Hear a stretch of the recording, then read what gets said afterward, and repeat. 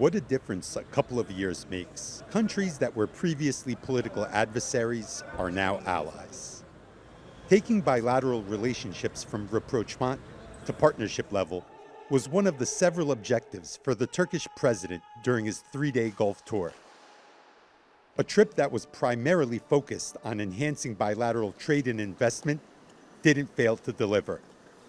The first leg of Erdogan's visit was Saudi Arabia where he met Crown Prince Mohammed bin Salman. While both leaders enjoyed a ride in Turkey's domestically made electronic vehicle, the Togg, delegations from both countries were busy signing deals on defense, energy, investment, and communication cooperation. The stopover was highlighted by a landmark acquisition of Baykar drones, a sale that's reported to be the biggest defense export contract in Turkish history. The next stop was Qatar, Turkey's top ally in the region. After gifting Emir Sheikh Tamim bin Hamad Al Thani a Togg, both leaders discussed steps to enhance cooperation in several fields. The visit also produced a joint declaration pledging to increase political, diplomatic, economic, and trade coordination. The president's final stop was Abu Dhabi, where he met his Emirati counterpart, Mohammed bin Zayed Al Nahyan. We are pleased with the development of our close dialogue and cooperation on the 50th anniversary of our diplomatic relations. With the joint memorandum we will sign, we will raise relations to the level of strategic partnership. With the high level strategic council mechanism, we will ensure that our relations are handled regularly at the highest level.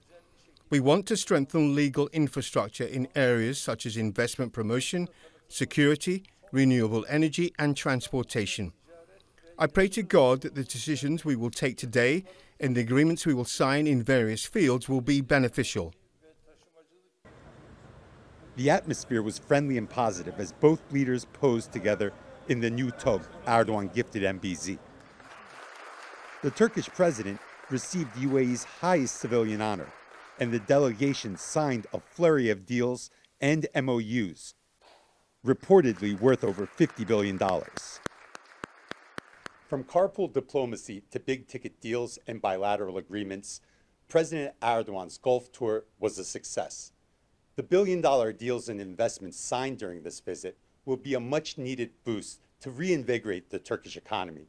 As the hot Arabian sun sets on this presidential trip, the warming relationships between Ankara and the Gulf states signal a return of Turkey as a major player in the region. Yusuf Erim, TRT World, Abu Dhabi.